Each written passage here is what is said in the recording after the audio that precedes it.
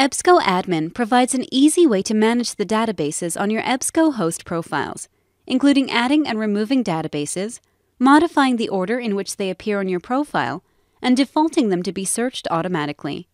To manage your EBSCOhost databases, begin by logging in to EBSCOadmin. Choose the appropriate profile from the drop-down and click the Databases subtab. To add databases to your profile, select Disabled from the Show drop-down menu. In the Enable column, change the setting to On for each database you would like to enable on the profile and click Submit. When a database is added, it appears at the bottom of the list of databases on your profile. To remove a database from the profile, change the setting to Off for any one you would like disabled and click Submit. Change the order the databases appear on the Choose Databases screen by adjusting the numbers in the Order column, or simply click the Order Alphabetically button to arrange them in alphabetical order. Click Submit to save your changes.